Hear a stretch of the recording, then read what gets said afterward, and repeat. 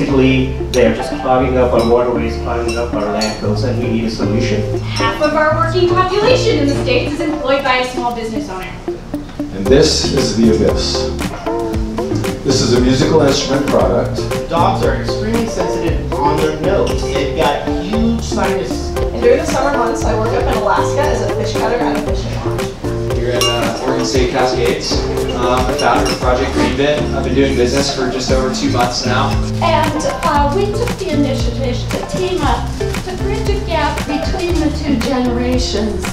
Unfortunately, more than 30% of schools in the United States don't have a computer science program that kids can learn from. For five years to 2019 projected to be 10 times that. $693 billion over mobile branded applications. Have you ever been passed up for a promotion or not gotten a job? Who here has had trouble finding cool outdoor adventures in your valley? Anyone?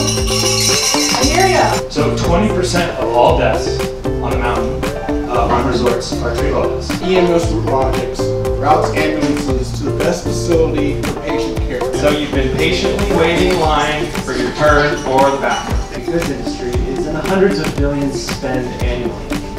Childhood loneliness and peer rejection have lifelong consequences.